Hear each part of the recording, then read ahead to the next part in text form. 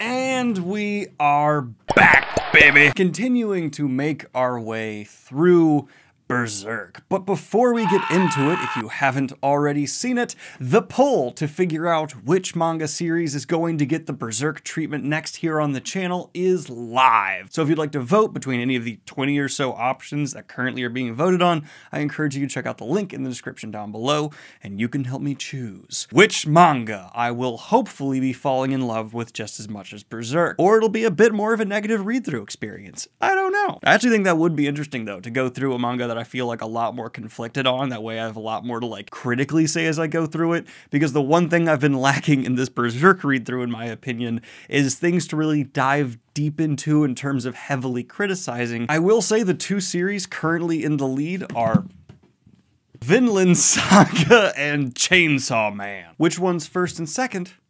Never say until actually I do say next week when the poll closes and I will be releasing a winner video. I also want to quickly say there's not going to be an uncensored version of this episode posted to Patreon because there's not really much I need a censor here. It's like four or five panels and I feel like I'd be devaluing the uncensored versions by putting this with them. So I hope you understand I'm trying to just not artificially inflate the value of my Patreon and the people who support me there. I love you. I appreciate it so much. And yeah, the uncensored ones are usually great and a lot of fun, but it's not that much different in this case, so I'm just going to let it be so you don't end up clicking on that one expecting a big difference and not getting it. But without any further ado, let's go ahead and get into Berserk Conviction Arc Birth Ceremony Chapter Revelations Part 1. So where we left off, Guts just got done dealing with the Holy Iron Chain Knights, who I'm anticipating getting more heavily involved with the demonic side of things and suffering very heavy casualties. That's my big prediction. To serve as like a twisted band of the Hawk that Guts becomes opposed to, but sharing many similarities to what the band used to have for him. I don't know, that's just my shot in the dark, maybe, but we're actually not picking up with Guts right away. And instead we get more of like an update check-in on the world for a while, and I'm not going to go too specific here because I want to go ahead and get to the gut stuff. But what we largely see is this world has been shifting more and more into darkness. There are plagues and natural disasters that are just ruining life for your everyday person, as well as more and more stories and myths of unbelievable horrors moving in the night. And that's actually a specific choice I'm liking more and more the further we get from the Eclipse, because the cheaper version of what the Eclipse did to this world is just having like a flip switch and everything is a hellscape and there's just demons everywhere and blah, blah, blah, blah. But instead, what we're seeing is what feels like a much more sinister, slow churn into darkness that's working with the worst of humanity and exploiting it to put the worst in power and to allow the real darkness and evils of the world to become an institution rather than just a big blanket fire. And at least to me, as a reader, that's far more terrifying and fits with the type of evil we have seen within Berserk that is largely rooted into the evils we as people can commit ourselves. I mean, again and again, this series is showing us that humans can do just as up stuff as the worst of the demons, and in fact, they can like earn a place among them. But we see another what seems to be religious figure high up within, I think, the same Holy Iron Chain Knights group. No, he's not. He's just a lord of Western Midland, which was my mistake. There was just something religious said during this scene, and so I assumed he was. But then I recognized him, and I think we've seen this character before, but I'm terrified to check the wiki because spoilers, so I don't know trying to help people who have been caught up in a natural disaster, coming across a city that is essentially completely empty aside from dead bodies from plague and rats feeding on them. And there's this continual imagery of a white hawk battling against what honestly just looks like a depiction of death. And just cementing home how all of this is really connected to Eclipse, we even see the face of one of the demons or angels I say with the biggest quotation marks ever, have its face immersed from a pile of rats that are feeding on a body to release a bunch of haunting looking spirits. Man, Berserk is just so good at just riding the vibe it's built. I don't know if that makes complete sense, but like so many series struggle to be like, this is our tone, and then to like try and consistently maintain it without becoming parody of itself. Berserk is so over the top bleak that what feels like it could be parody in lesser material just absolutely fits into what's established. We also once again see the image of the Behelit hanging from a crucifix that has the White Hawk crucified on it.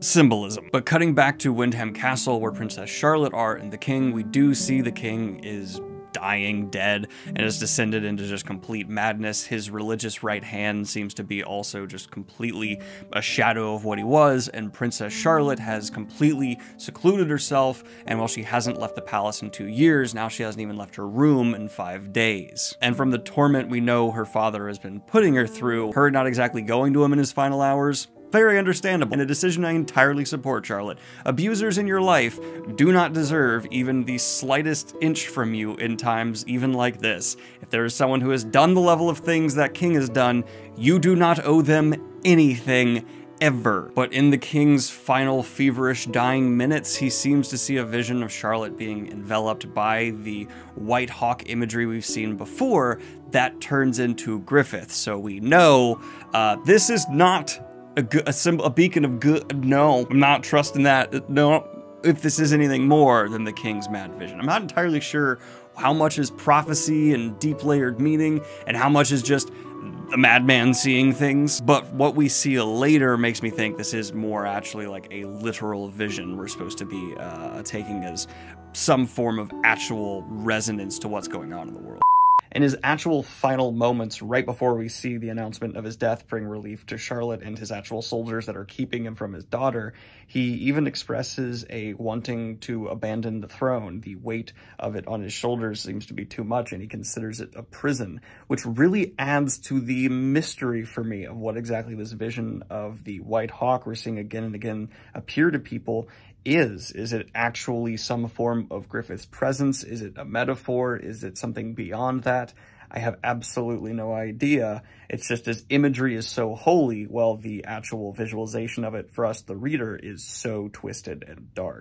But in the final frames with Charlotte essentially asking Griffith to save her from her father right after he dies, we also see a massive army is about to descend on the city. So the nations of man are certainly not demobilized by the awful things going on, and political infighting is still going to be resulting in massive war because the army we see has elephants, some what seems not to be of this culture armor, and war war is going to always be a part of humanity. No matter how bad things get, actually, I would say the worse things get a more uh, prominent part of humanity. We're just great. God, and I love that about Berserk, though, because it's the absolute incredible balance of the beauty of humanity and the worst of it, because we do see, yes, on these larger scales, we see awful things being done and, you know, people who are in the worst situations possible, but when we pull away and have some distance from those situations, Berserk does not back away, though, from also showing the beauty and love within humanity,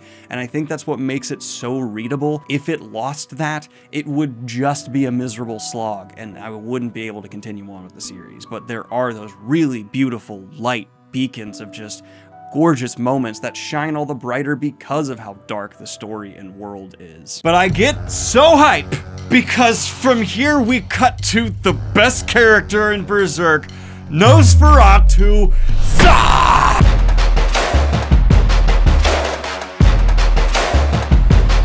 I love me some Zadi. I, he's Zad, he's Zaddy. I don't know how else to put it. He's had so little page time where we actually like are learning what he is, but he's made such an impact.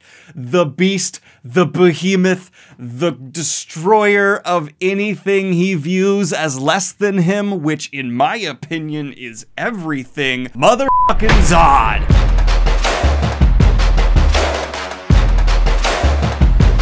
Is having a contemplative quiet moment on top of 300 bodies he's massacred. Uh, it seems to celebrate the fact that he's been doing it for over 300 years.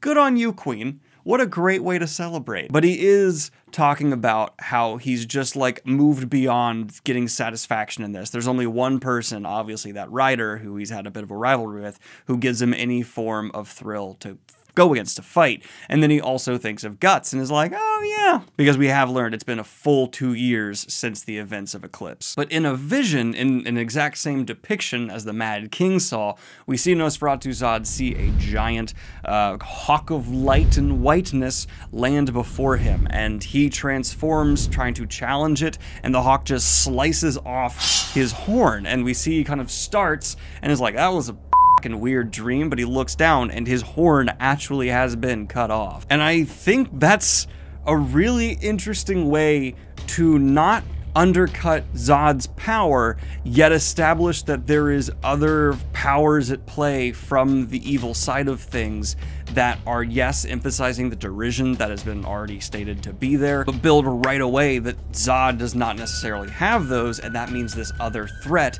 is going to be a threat in a new way. If this was handled worse, it would make Zod feel like less, but Zod feels like just as big a physical threat because this was an attack what seems like in another plane, another way that Zod just happens to not have been prepared in, and so of course, Guts won't be either. But we catch back up with Guts and Puck, and they're kind of talking about how the world has gone to shit.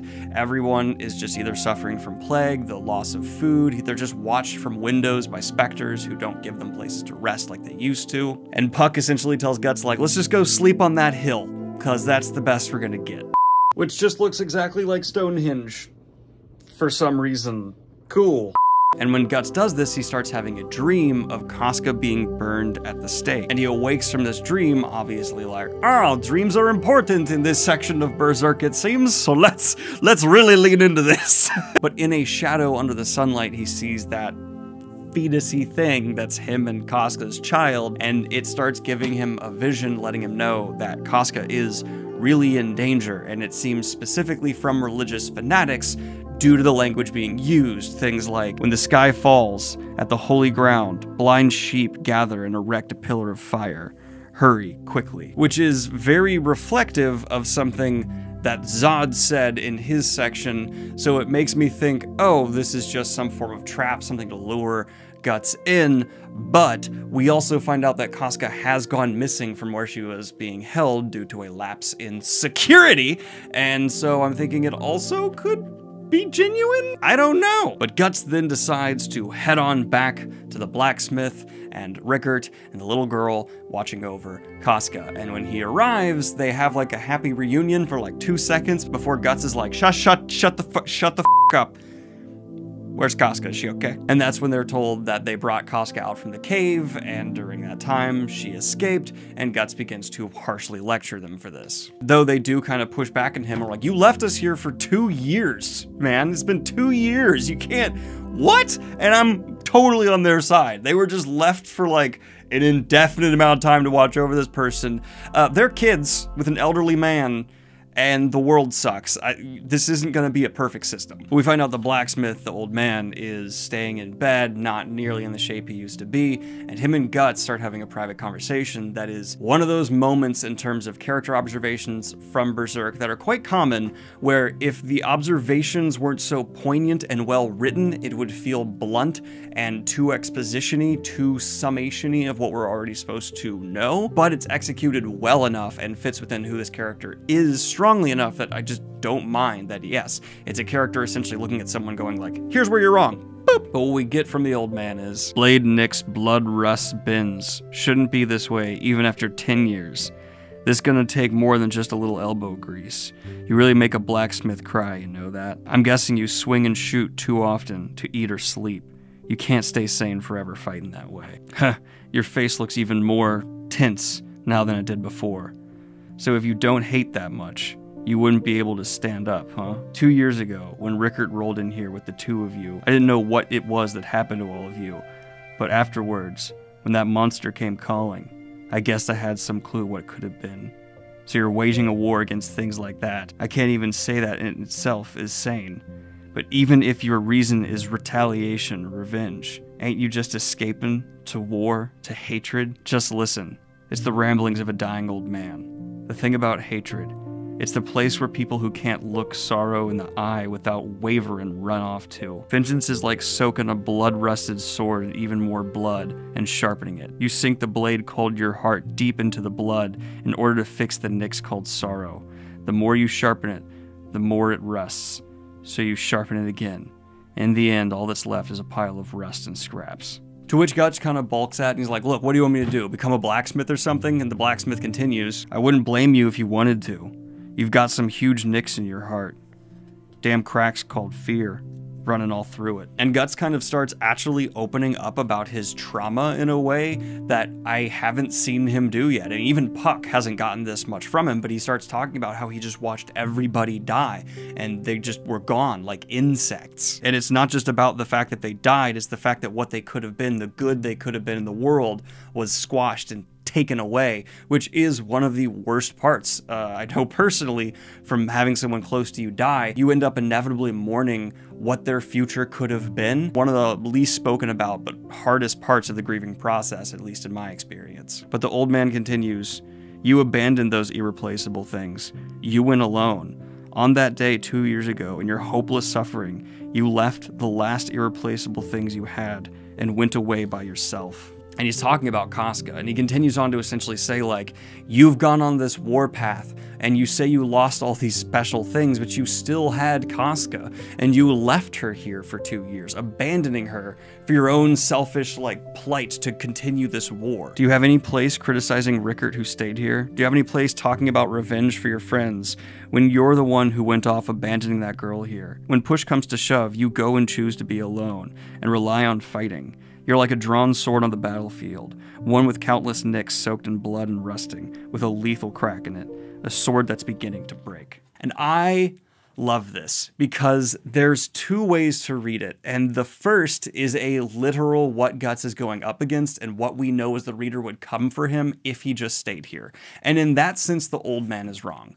He needed to go away. He needed to go down this path, this journey, for not only the safety of Casca, who would have been, you know, constantly having people drawn to him due to the brand and things like that. The two of them together, I believe, would have been too strong of a pull. But there is a threat to the world that Guts needs to go take down to end this age of darkness.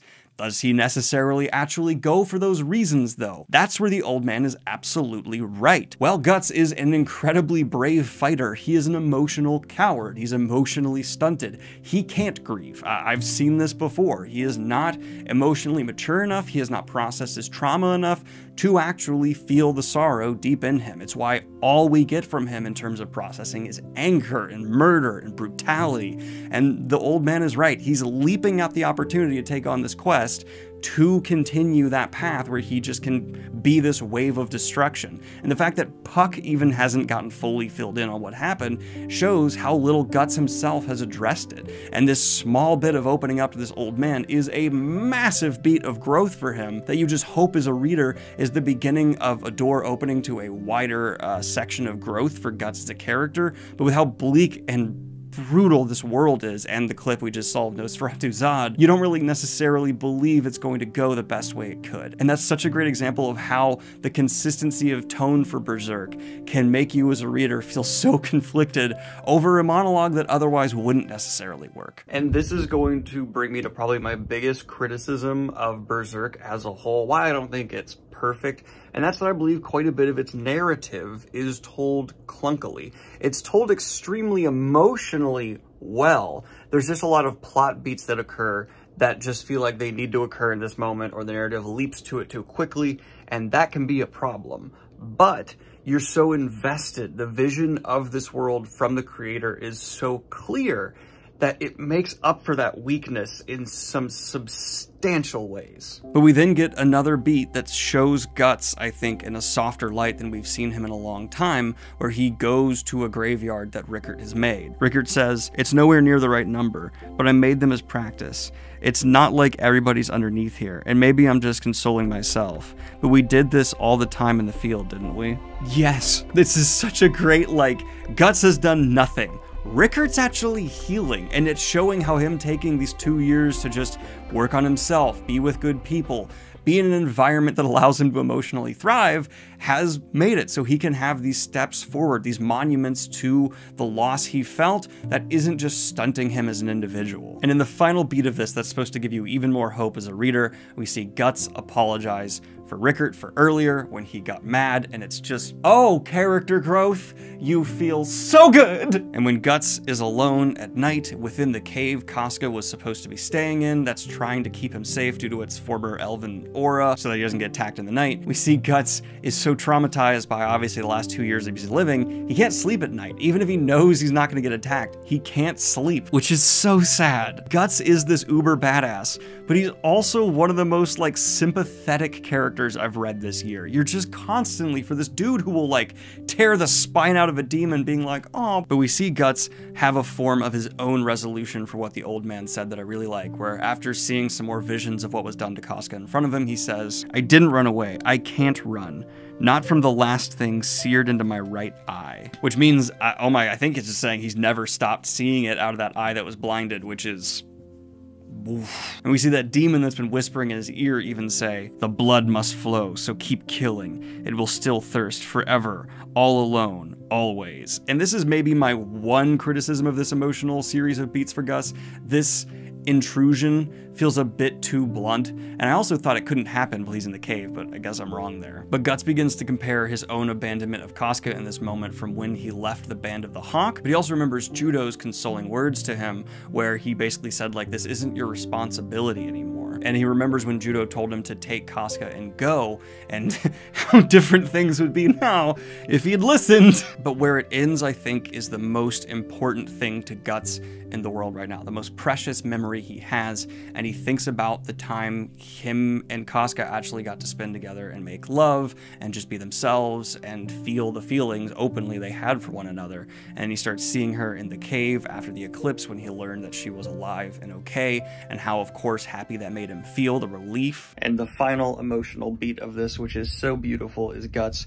out loud admitting to himself that the only reason he's alive isn't just anger, and revenge. It's the precious things he still has in his life, like Casca, and he berates himself for not seeing it sooner. And then he remembers the vision of her in trouble, and he stands. Not yet. It's not too late. This time I swear, I'll never lose her again. And that is where we are going to end here. I've made it abundantly clear what I really loved about this section, how it definitely structurally is choppy as hell and is just working as setup, setup, setup, setup, setup. But I don't mind too much because I'm just so steeped in the miasma of this world at this point that seeing all these different political setups, it's trying to fill in the gaps of what's been going on in the background. Well, the time skip is happening. At no point did it kick me out of the story, and I just want to keep going, going, going, going, going. I'm going to say Revelations isn't as great as the best of Berserk, but it had some really outstanding executions of what this two years has provided for Guts as a character in terms of growth.